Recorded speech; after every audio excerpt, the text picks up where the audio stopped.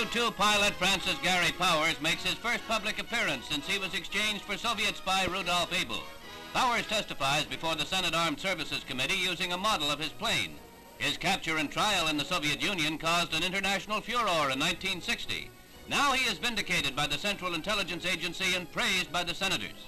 Still a mystery is the external explosion, which sent his super-secret reconnaissance plane down deep inside Russia. Mr. Powers, would you please explain to our audience what you told the uh, senators inside about the explosion? Would you please repeat th that moment? Well, I don't have much time. All I know is that there seemed to be an explosion. I don't know what caused it, but I feel that it uh, was not in the aircraft itself. So you therefore believe that it was a rocket? Well, I can't say that. I, I just know that, or think that it was external.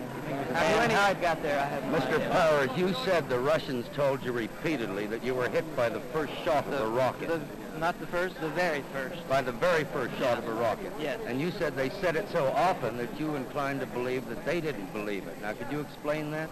No, I said that they said it so often that uh, I was inclined not to believe it. Uh, if they had used a rocket, it seemed to me that uh, the act would have spoken for itself, and they shouldn't have to keep telling me that it was the very first shot of something. And I And you feel really it might have been a near miss. Is that your own feeling? Well, I'm Powers? sure that there was no uh, uh, direct hit. There was no impact of any kind. You think it might have been a sidewinder type of air-to-air missile? I really can't say. I don't know.